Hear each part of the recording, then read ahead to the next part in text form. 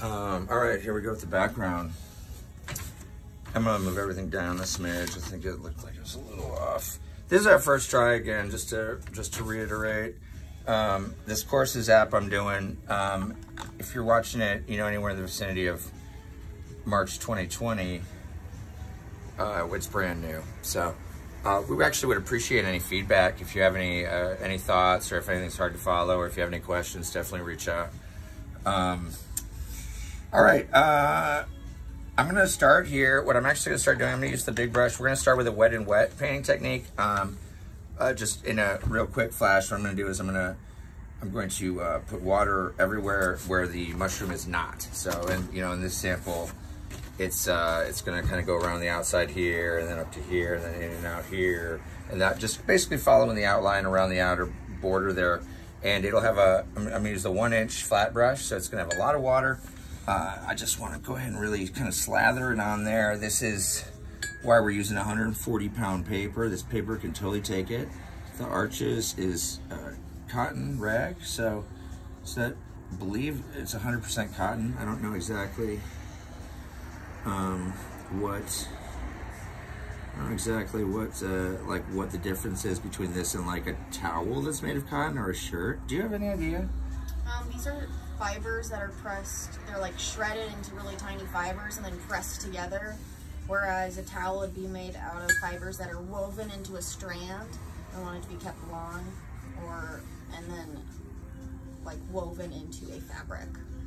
Wow, okay, cool. Do you think you could paint on a t-shirt? Or like, like why do t-shirts stretch, I guess? Yeah, I guess that... It has to do with um, how fabric is woven. So if it's woven like with really stretchy fabric, for instance, it will stretch more. I mean, but I guess canvas is, is cotton. stretchier than a knit, Okay. and then it's like certain. It's based on like how many interlockings there are. So if there's a lot of space between each weave, Mm-hmm. it'll stretch more and be looser. Versus Okay. if there's not, then it'll be really tight. I think, uh, and then, and, and, and canvas is cotton, correct? Yeah, cool.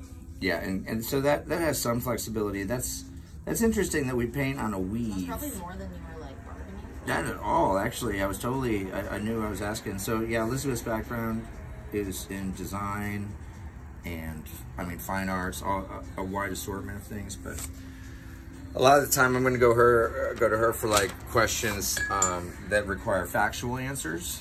I'll be providing sort of the artistic bits and, and whatnot. And um, honestly, she's a pretty fantastic painter.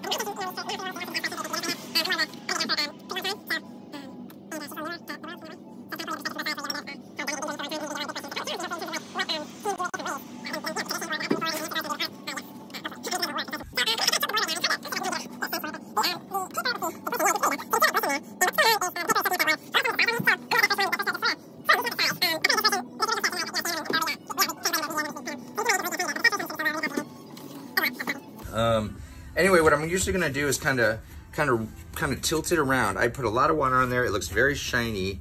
What I want ideally is somewhere right between like shiny and a sheen. And really the only way to know that perfectly is just to play with it. So um, that's why I say, had, you know, do a few and uh, you're gonna keep changing things until you like it uh, in your own way. And that's honestly the point of it. I'd be a little, I'd be a little bumming if yours looked just like mine. I feel like that would be, I, I mean, to some degree, yeah, missing the point of art, Creating. is, is to have preferences and, and things you don't like. And then sometimes what happens, you can kind of see it, um, or maybe you saw it when I held it up a second ago, that water is like pooling into these almost channels. And that's gonna happen, it's just, it's fine.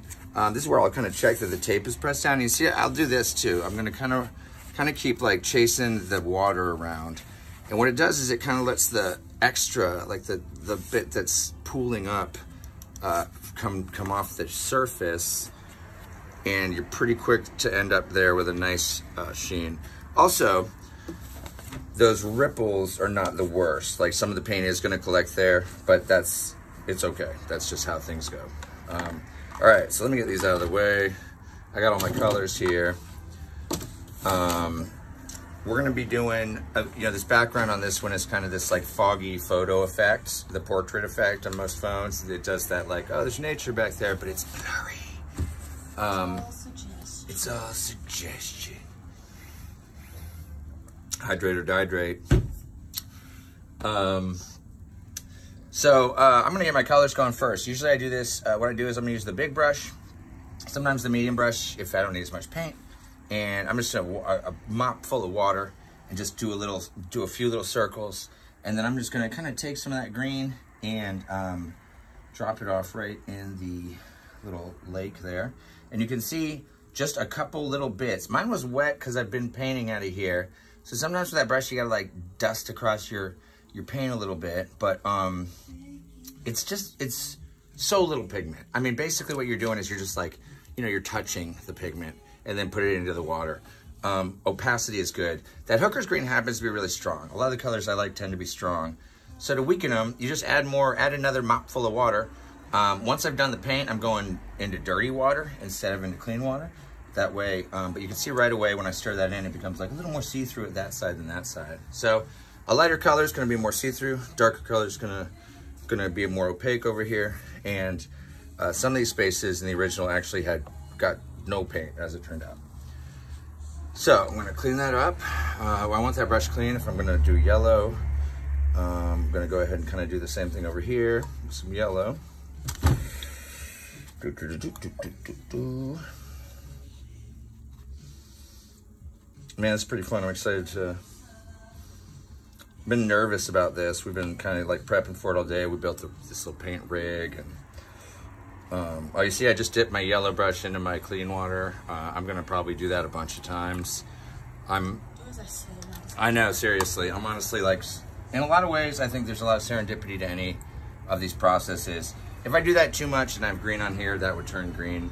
Um, but I was okay. I'm it's still at the beginning of the painting. So if that had turned green and I really wanted yellow, uh, I honestly would just not use it and I'd clean it, make a new pile over here. So, uh, okay, I'm gonna go ahead and clean that up a little bit. Um, I'm gonna, uh, actually I'm gonna put a little more yellow in there. And you'll probably see me just go straight to the source here a little bit. Like now that I have some water here, this is like, this is some high concentration stuff right here down at the bottom of the well. So that I can either use that to flavor this or I can just put that straight in and that's gonna be like some pow of yellow.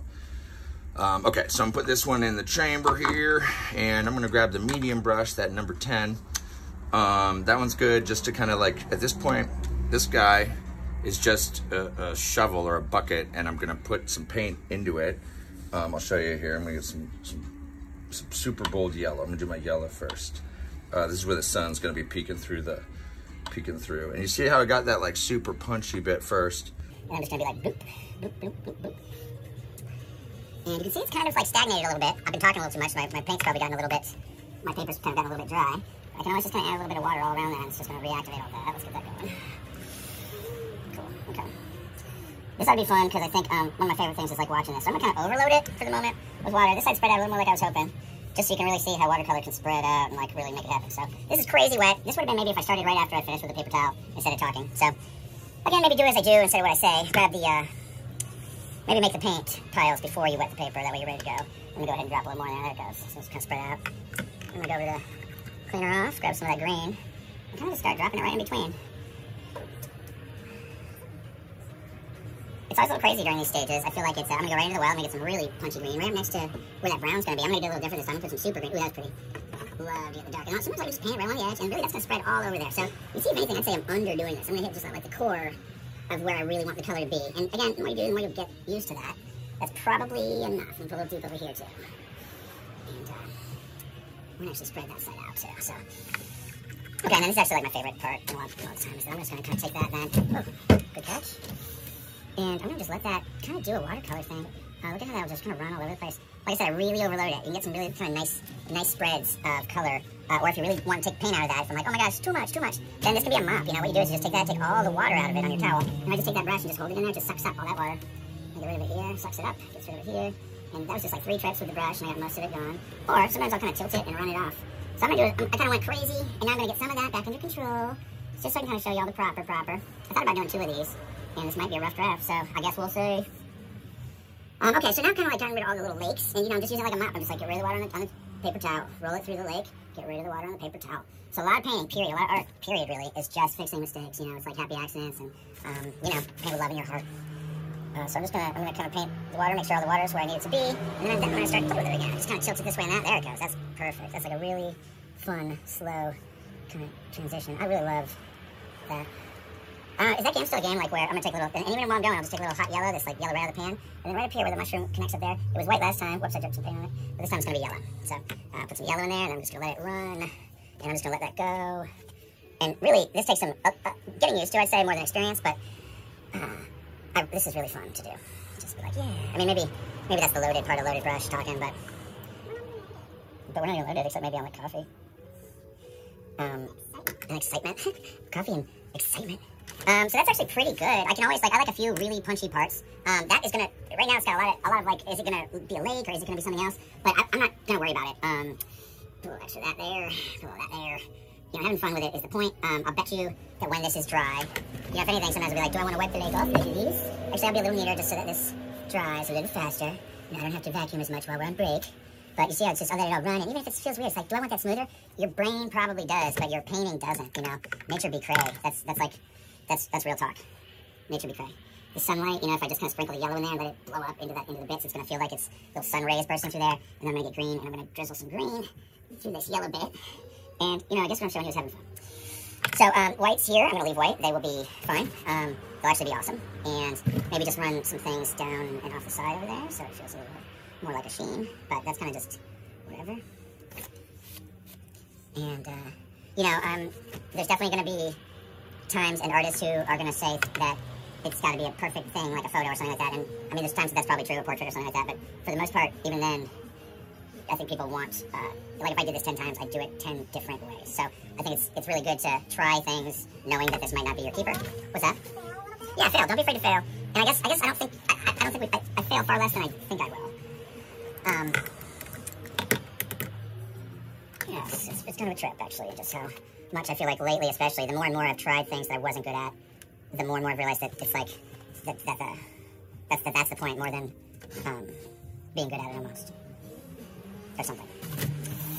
So, um, like I'm having, like here's here's real talk too. I'm gonna go in like about 10 seconds, but this little section here, I'm having a bloom, which is where I've, it's sort of where the, the water was was thicker on one side than the other. A couple ways to, just meaning it was like a lake on one side, but it was already a little dry on the other. So I can either sort of run more water up to that spot, and that way it'll all kind of, like everybody make friends back in that region, and everybody should be kind of the same amount of wet.